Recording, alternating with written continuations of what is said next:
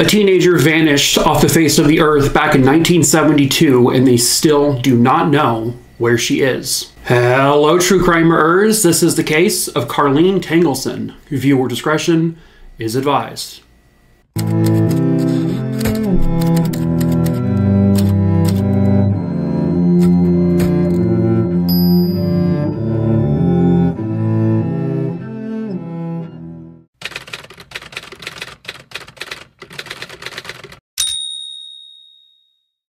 This case occurred in the town of Macon, Georgia, back in 1972. Back then, the population of Macon was somewhere around four or 5,000 people. It was a quiet, peaceful community. There really wasn't much crime to be heard of back then. Carlene Tengelsen, at the time this case happened, was 16 years old, and she had just completed her sophomore year over at Southwest High School. Carlene was a good student. She got good grades. She was popular. She was well liked. She had a boyfriend that she was really close with. She was one of four total siblings, and she got along really well with her siblings. Her younger brother would say that Carlene would basically drop anything and everything if he needed help. Like if someone was picking on him, all he had to do was yell her name and she would just come out of nowhere and just like be there to protect him. She was incredibly protective of him. She shared a room with one of her sisters. They, you know, had normal sister little spats here and there. Carlene was considered kind of a a messier uh, kid, so her half of the room was always kind of cluttered and messy, while her sister's half of the room was always neat and tidy. Sometimes this caused little issues, but for the most part, I mean, this was just typical sibling type stuff, and they loved each other very much, though. Carlene had also just gotten her driver's license uh, literally like a week prior to this case occurring, and she was beyond excited. She finally was able to drive, and the family owned this little uh, Pontiac station wagon, or big Pontiac station wagon, I should say, and that was going to be the car that she was going to be allowed to drive around. June 21st, 1972 was the very first time that Carlene was given permission by her parents to drive that car. She was supposed to leave the house that early afternoon to go pick up her sister from a, I guess, a little summer camp that was going on. So Carlene leaves earlier than she had to in order to pick up her sister because she wanted to go to the Westgate shopping plaza area. Before she left the house, she actually invited her younger brother and older sister, hey, do you want to come along with me? Both of them said no. And you kind of have to always wonder like, if they had gone, would things have turned out differently or would things have turned out even worse for this family? But they both stayed home, and once Carlene left that house, she's never been seen again. At around 4 p.m., 14 year old Jonette Tengelsen calls the house and says, Hey, what gives? Carlene isn't here. She was supposed to come pick me up. Her mom was like, Oh, don't worry about it. She's probably just running a little late. I know she had gone to the, the shopping mall earlier, so maybe she got caught up talking to friends or her boyfriend because her boyfriend worked uh, kind of near that shopping mall. She said, just give her a few more minutes. She'll be there. Don't worry. An hour goes by. Jonette calls back at the house hey, she still isn't here. Where's Carlene? At that point, her mom's like, okay, this is definitely very strange. That's not like Carlene, she wouldn't really do that kind of thing. And so the older sister of the family, she ended up going to pick up the younger sister from this university where this summer camp was being held at. And then after like another hour or so, Carlene's mom is like, God, I something something feels off here. This isn't like her and she's really debating like do i call arnold the her father? Because carlene's dad arnold was on a business trip out in florida roughly five hours away. He had he had actually driven there. But once it became nighttime and carlene still wasn't home she said all right i'm calling him. And so she calls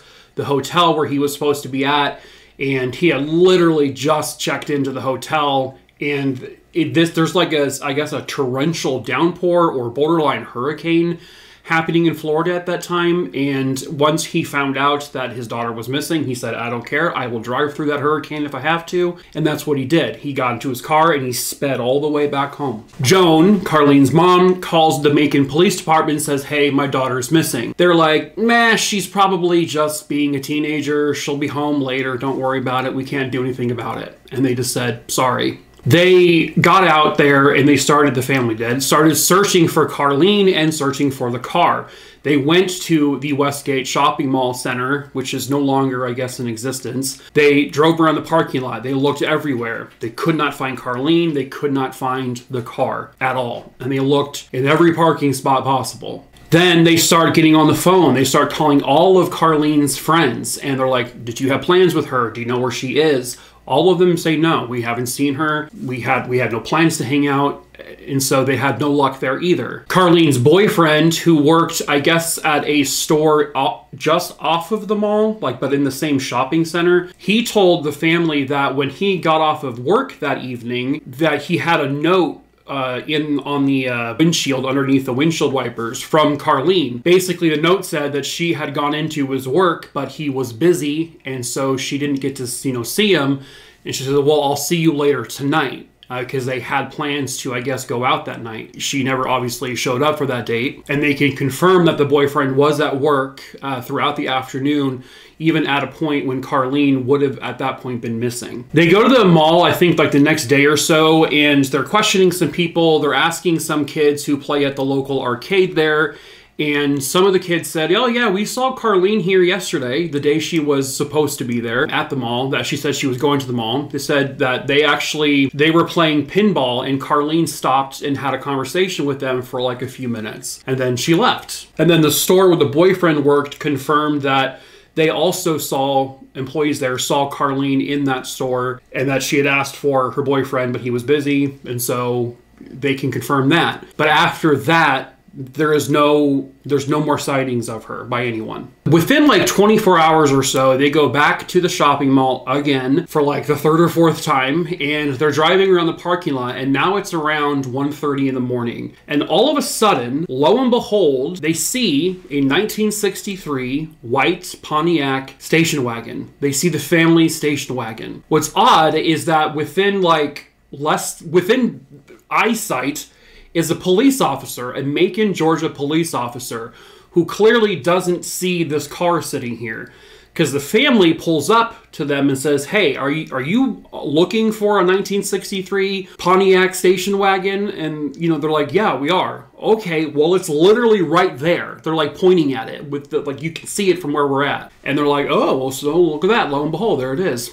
The driver's side door wasn't closed all the way, it was partially ajar, and then some of the windows were rolled down, which was also unusual because they uh, instilled in Carlene, like, anytime you leave that car, you roll up all the windows, you close the doors, you lock the doors. But in the car, there wasn't, from my understanding, there wasn't like her purse or anything like that, or the keys to the vehicle. There was nothing in it. And obviously, Carlene wasn't there either. They told the police, well, okay, can you investigate this car? Can you, uh, you know, check it for evidence? And they're like, at first, they were, the police were like really reluctant to do so. They're like, listen, this is just a case where a teenager just ran out on her own. She'll be back. We don't want to like waste time doing all this. Can you do it anyway? And so they finally begrudgingly dusted the car for fingerprints, but they came up with nothing. The family had been to that shopping mall in, in the over the course of that 24 hours. They had been there, especially in the parking lot countless times. They had several people looking throughout the parking lot. They also had, you know, people who worked there who were close, like friends with Carlene. They were looking for it. Nobody found that car.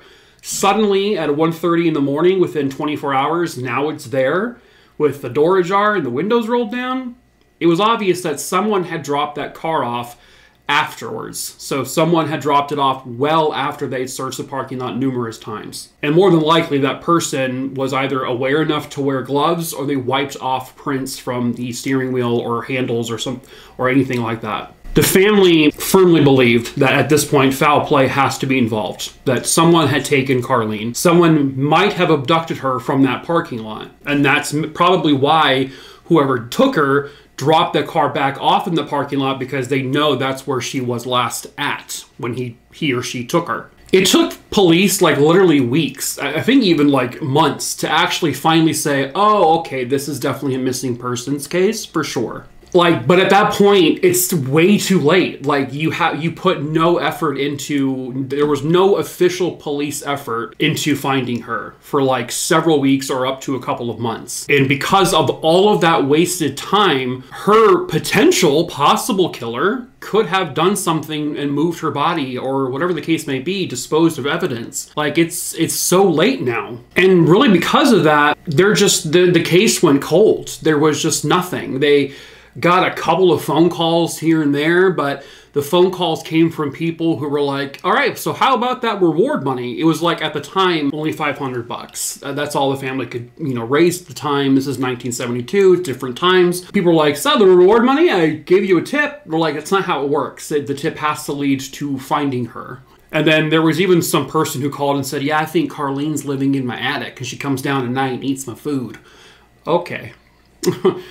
right the family after a while ends up because they're so devastated by this loss they end up moving out of macon georgia. And they actually took their house phone number and gave it to a neighbor and said hey can we set this phone line up here at your house with our old phone number in case carlene calls? And the neighbor's like absolutely. And so for the next three years the family is now no longer in macon but no calls come into that phone, at least not from Carlene, obviously. And then after three years, the family ends up moving back to Macon, Georgia. By 1981, the family, mainly uh, Carlene's parents, they have a petition filed with the courts to declare Carlene legally dead. The courts look at the evidence and say there is absolutely the legal presumption of death in this story, unfortunately.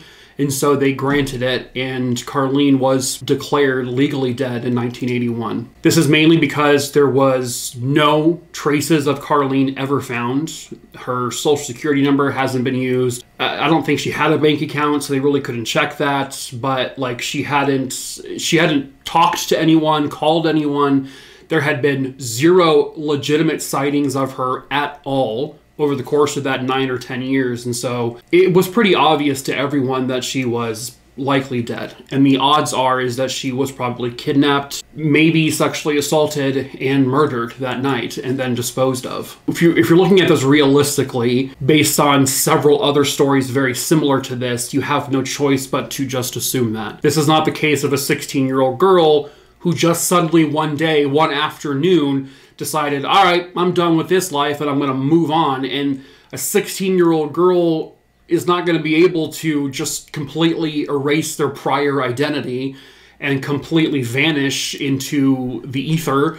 Like someone's going to notice her. It's just, it's not possible. So she is very likely dead. But the problem is, is because no one investigated this from a official standpoint for several months, they have no evidence. They have no real witness statements. They have no testimonies. They have like they've I, I want to I don't even know if they really truly interviewed the boyfriend and said like hey because it's always like you always look at the boyfriend or the spouse or the significant other and i'm not saying he did anything to her just i don't i just don't know if they actually legitimately looked into him i do know that he was confirmed to be working on the afternoon she would have already have disappeared so it's likely not him. This is probably a stranger abduction but it's just who?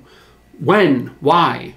What did they do with her? Where is she? This is wow 50 years later. That's crazy that 1972 is about over over 50 years later now. And there's been nothing. No movement no charges, no arrests, no bodies found, no articles of clothing, no purse, no wallet, nothing. Nothing has been found. But somebody somewhere out there has got to know the truth. That somebody may be in their late 60s, early 70s, or maybe up. Uh, but and maybe they've talked and they've said something to someone, and maybe that someone is you, and maybe you no longer have a relationship or a connection with that person. Maybe you were afraid to come forward because that person was still in your life, and maybe they're not anymore, and now is the time to come forward. You can report any information you have anonymously. You don't have to say who you are, you just have to say what you know. At the bare minimum, this family deserves to know where she is so they can properly lay her to rest. Because for all they know, Carlene is just alone out there underneath a shallow pile of dirt and leaves, maybe alone in a forest somewhere, and that's not right. That's not fair to her. That's not fair to her family. She deserves to be brought back home, and she deserves to be, they deserve to be able to pay their respects to her. So, if you have any information about the disappearance of Carlene Tengelsen, please contact the Macon Police Department at 912 751 7505. Perhaps you could help bring Carlene home and you can help her get the justice she rightfully deserves. But that is it for this case, True Crime Aruni Dooney Dingleberry Dongs. I hope you found it interesting. Uh, as usual, please subscribe, give this video a like, hit the bell. Follow me over on my TikTok pages if you want to. I tell short form true crime stories over there. The links are in the link tree in the description of this video below. They also pop up here on the screen at some point. I have a merch store. It's also in the link tree below. You can recommend a case for me to cover at my email address. The email address is listed below. Just send me a really quick email with the name, where it happened, when it happened. I'll add it to the list, and I will eventually at some point cover it. Do apologize. The videos this, depending on when you're actually seeing this video, if you're watching this as I post it, the videos this week may be shorter than normal. I am having, I am in extreme pain right now. Uh, my entire lower back, and it's spreading down to my legs, and I'm having a hell of a time. Uh, sitting for uh, even short periods of time is the worst pain. So I, I may be filming shorter videos this week. So just possibly bear with me. Maybe I'm not sure. May, who knows what happens in the end? But if they're all short this week, that's the reason why. Okay, so I will see you guys for the next video tomorrow. Yeah. All right. Oh, that was that was stupid. I'll never do that again. I did it again.